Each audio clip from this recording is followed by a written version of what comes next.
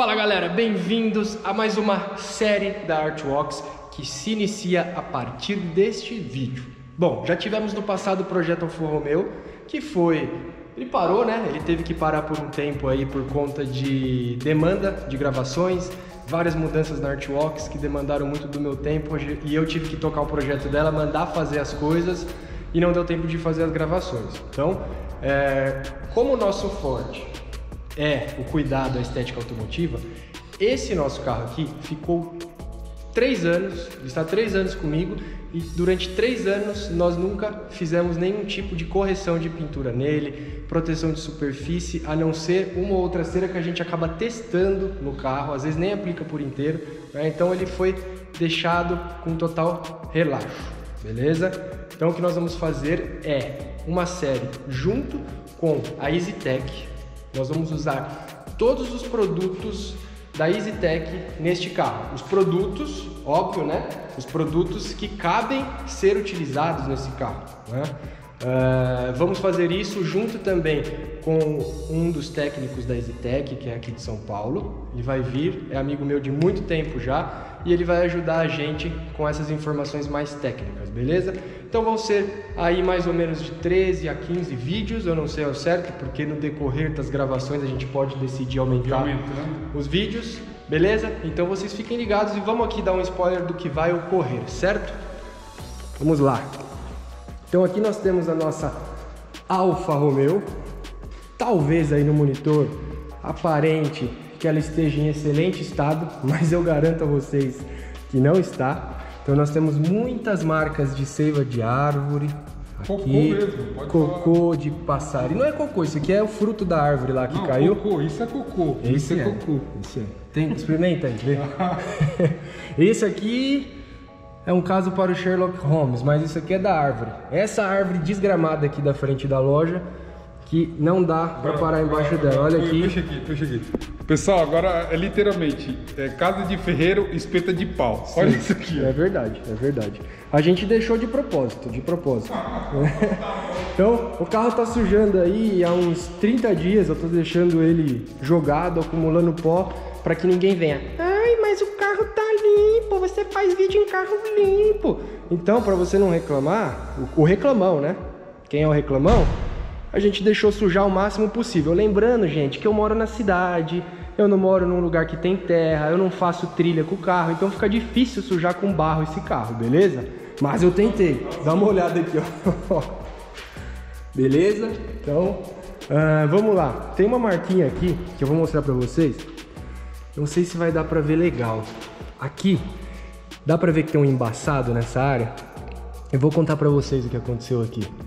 Quando a gente estava testando as ceras da Soft 99, a limpadora white e a, e a preta, o Marcos teve a brilhante ideia de fazer um teste. Vamos ver o que acontece se passar a cera limpadora branca num carro escuro. E foi exatamente isso que aconteceu. E eu juro que a gente não colocou força nenhuma. Tanto é que depois disso saiu esse vídeo que eu vou marcar aqui em cima sobre é, os cuidados que tem que se tomar para usar esse tipo de cera aqui numa pintura de carro, beleza? Porque ela faz isso no escuro, ela também faz isso no carro branco. Só que no branco a gente não vê, mas tá lá. Vamos lá, o que, que aconteceu? Esse carro já sofreu repinturas, que a gente agora vai tentar corrigir ao máximo, né? É, passou do tempo de cura, mais de dois anos aí, a gente não fez nada. Ele tá desmontado agora, umas partes, ó, tá sem as soleiras. Eu já fiz os bancos dele, né? Também não, acabei não filmando, então tá com os bancos conchas aqui da Chiron Racing, com alcântara é, original aqui. Os volantes, o volante também foi revestido com alcântara. As laterais de porta foram feitas em couro. Isso aqui é tudo couro também, é couro natural, né? Couro natural na frente e a parte de trás e lateral ela é couro sintético. Como que a gente vê a diferença? Esse couro aqui, ele é liso, tá? É, você passa a mão, você vê que ele é, uma, ele, ele é um tipo de tecido liso, superfície, né? Lisa.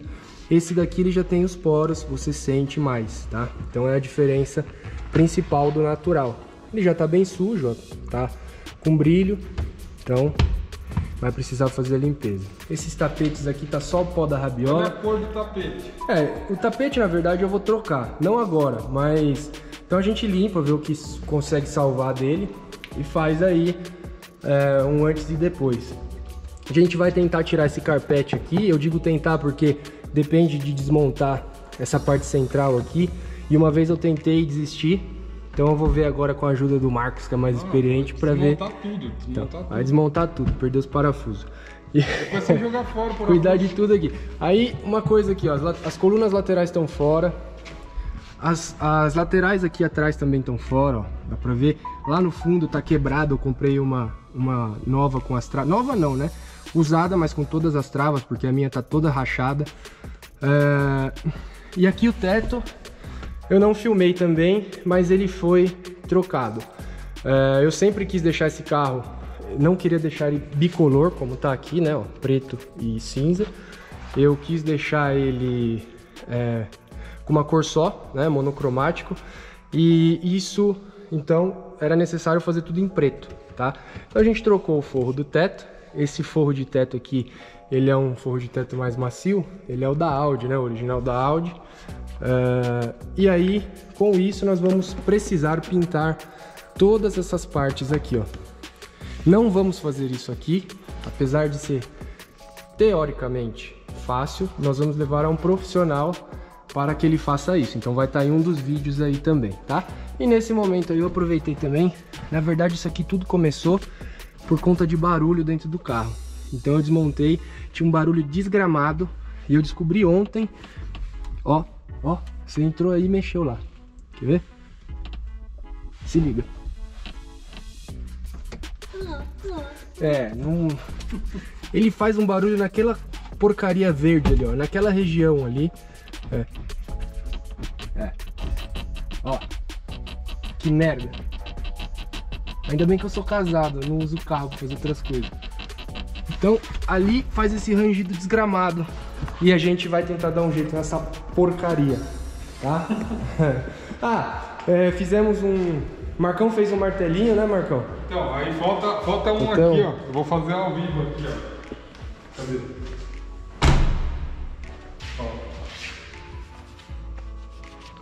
Não sei se dá pra ver, dá, né? Olha na lâmpada aqui, ó, na lâmpada quadrada lá de cima, ó. Passa o cantinho dela, aí você vai ver. Ah, bem aqui, ó. Dá pra ver, uma... tomou alguma pancadinha aí. Isso aí depois a gente faz ao vivo. Beleza, então... Ah, aí a gente vai cuidar das rodas, ó.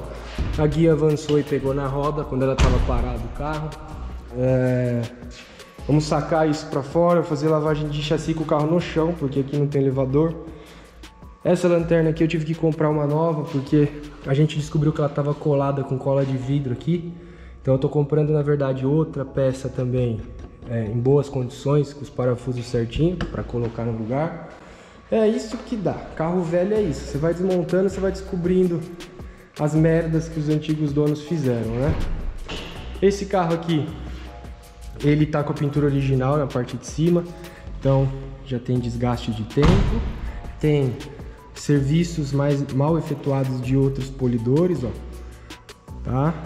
Então, no passado ele já tomou uns polimentos bem abrasivos, ó.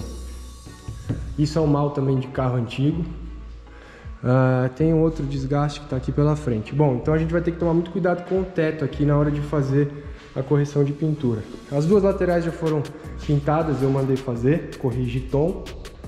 Então, provavelmente dê pra gente fazer um trabalho legal aí com lixa também não sei como foi, como foi pintado. Como foi pintado, então a gente vai ter que fazer um spot teste para descobrir direitinho. Certo? E aqui nós temos as peças que serão pintadas, essas cinzas aqui, tá? Essa aqui é que eu falei que está quebrada, ó, de trás, está sendo trocada. Essa aqui a gente já pintou no passado, ela era cinza, né? A nova que, que vai vir, ela vai vir cinza. É, ela era assim. Só que a gente pintou assim no gato, né? Uhum. É, agora a gente vai fazer direitinho, vai levar um profissional para ele passar uma proteção em cima também. Vamos ver como que faz, eu vou aprender junto com vocês também. É, e na hora de montar eu tô trocando os pinos também, aproveitando para fazer isso. Tentar tirar o máximo possível do barulho, ó. Aqui tá os assentos traseiros. Ali. O cinto quebrou. Essa porcaria aqui não ela travou e não volta. Então depois eu vou ter que descobrir também uma maneira de Consertar isso. Galera, é isso. A gente está aproveitando a quarentena para produzir um material bem legal para vocês. É um conteúdo aí para quem já tem um conhecimento técnico e está querendo aprimorar, né? Tá aí de um é, semi-profissional migrando para um profissional, beleza? Então, vem com a gente, acompanhe, dê um joinha, siga este nosso essa nossa série, beleza? Os episódios serão lançados diariamente, diariamente aqui no YouTube. Vou tentar descobrir o problema disso aqui. Boa. Vamos ver se já no primeiro vídeo tá arrumado. Valeu, galera!